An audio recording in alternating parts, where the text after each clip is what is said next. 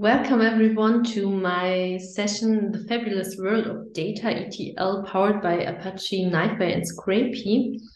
Um, my name is Bianca and I'm a consultant search and analytics at SHI. That's a German um, IT consultancy um, the team I'm working at, um, yeah, mainly focuses on search and analytics. Um, we support companies building, integrating, and optimizing search and analytics solutions. And yeah, like to use open source tools for that, where it's possible, um, like Apache NiFi, Apache Solr, or also Elasticsearch. And um, yeah, today it's all about NiFi and Scrapy. Um, and I want to first introduce you to them in theory. I want to uh, tell you how to use them in or where, where they come to play in a ETL data flow. And then I want to tell you a little bit about their um, features and maybe also drawbacks. And then I want to show you a little demo um, how to scrape quotes, quotes from the web using NiFi and Scrapy. So let's get started. Um, yes, so in um, many, many projects, we will need data, um, for example, in AI or machine learning projects for um, some evaluations, creating dashboards, or also in search when we, for example, want to um, yeah, create a single search interface to search different um, yeah, sources. And um, for all of that, we need data and um, to get this data, the ETL um, process comes into place. So ETL stands for extract, transform, load.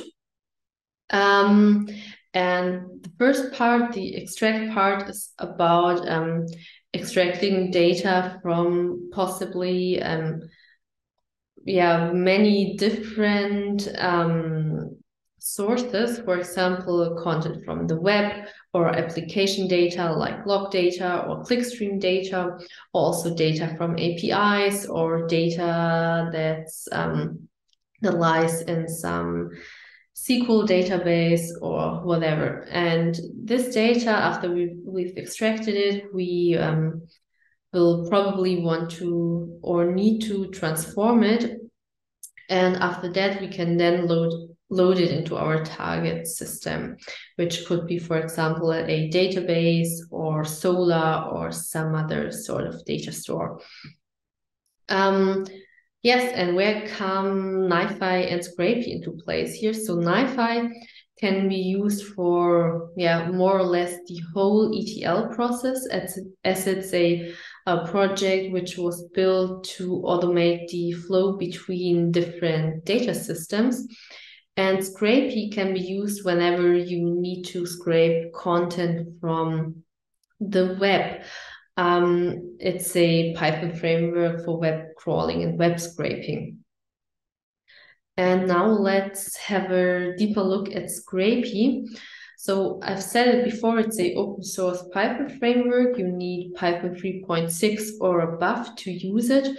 Um, it's built for web crawling and web scraping, and you can use it to extract the data you need from an HTML um, page. What's very good about it is that it uses asynchronous requests for fast crawls, and that's a big advantage compared to other tools. And it also, yeah, comes with an interactive shell console, which you can use for testing and debugging. Um, apart from this, it has some other features. For example, it offers integrated support for extracting data from HTML sources. You can do this, for example, with CSS delimiterers um, using XPath or regular expressions.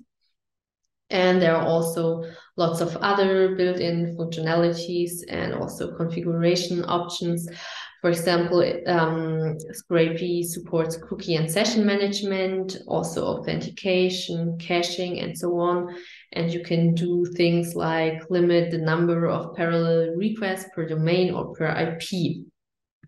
Um, maybe also a drawback I'd like to mention about Scrapy is that um, scraping dynamic websites can be a little bit trickier um, because this often requires executing um, JavaScript code.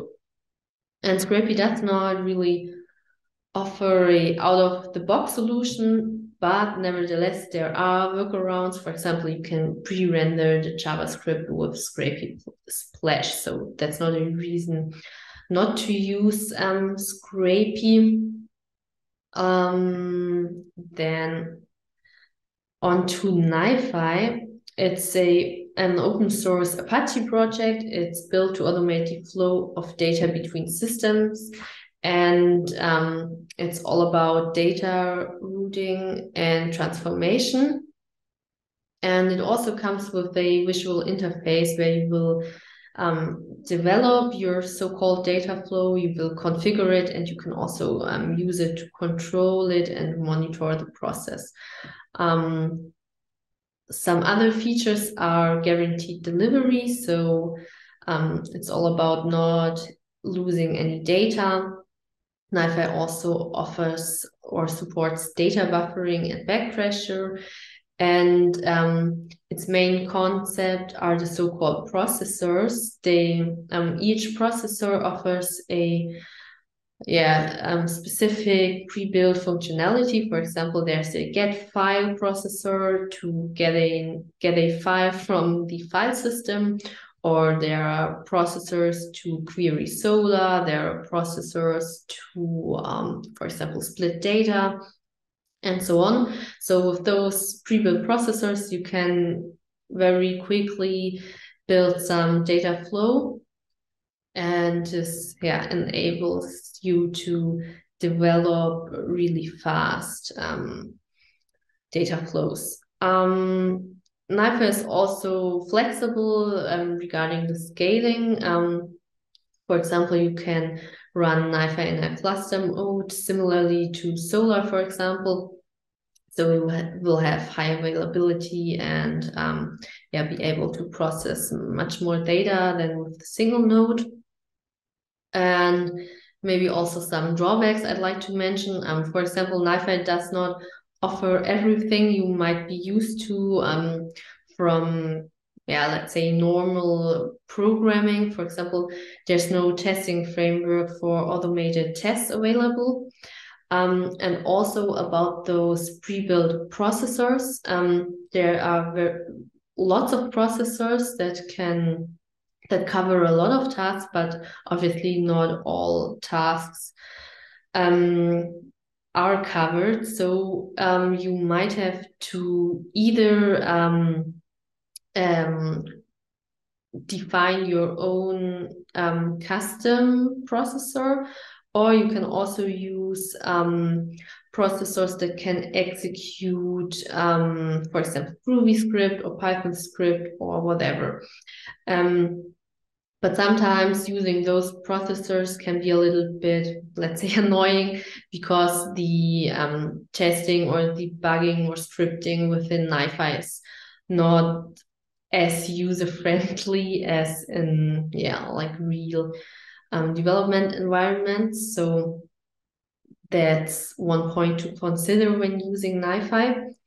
Um, yes, so that's all um, the theory. Now I want to show you um, a little demo um, and yeah, show you how to scrape quotes from the web. Um, the web page I want to scrape here is this um, quotes to scrape.com and we want to scrape all the quotes with tag humor. So this page and there's also a second page. We want to crawl all those um, quotes. So um, first of all, we want to get the text of the quote and then also the authors. Um, and we can have a look at the source code. And obviously we want we don't do not want to have all this HTML and Solr. We just want um yeah the relevant parts like the text of the quote and the author. Um, and to achieve this, we will first of all use um, Scrapy. Um, so I'll get my Python here. This is um, my little um, Scrapy project. The most important part about it is the so-called um, spider. Um, spiders are the classes that define the behavior of the crawl for a specific website or also multiple websites. Um, and here we have our quote spider. Um, so we first um, have to define a start URL or multiple ones. We, we've set here the one I've just shown you.